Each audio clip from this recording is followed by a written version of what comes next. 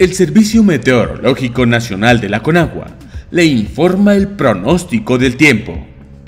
Durante este día, el Frente Frío número 27 y la cuarta tormenta invernal de la temporada, asociados con las corrientes en chorro polar y la subtropical, provocarán vientos intensos con rachas de hasta 110 km por hora, tolvaneras, ambiente muy frío a gélido con heladas y chubascos sobre el noroeste y norte del territorio nacional.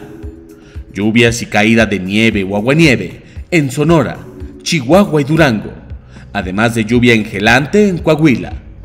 Por otra parte, el frente número 26, con características de estacionario, sobre la península de Yucatán, interactuará con un canal de baja presión en el suroeste del Golfo de México, propiciando lluvias puntuales muy fuertes en Veracruz y Oaxaca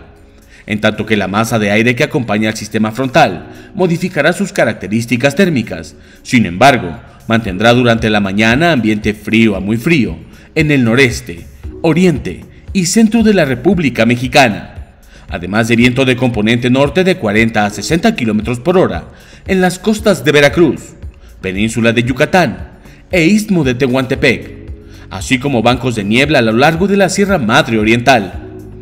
Finalmente, un sistema anticiclónico en niveles medios de la atmósfera mantendrá tiempo estable, temperaturas vespertinas calurosas y escaso potencial de lluvias en el occidente, centro y sur del territorio nacional, incluido el Valle de México.